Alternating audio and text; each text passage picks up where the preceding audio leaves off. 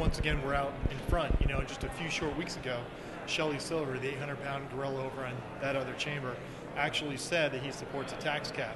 Now that was either a fleeting moment, aliens took over his body uh, on their way from Mars, or he meant it. And now the New York State Assembly has the opportunity to pass a tax cap.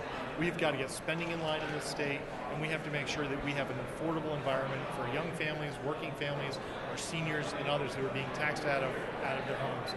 Today's a big day. It's step one. Now it's time to get it done. So tell us how mandate relief gets in that into that. You know, you can't have a property tax cap without mandate relief.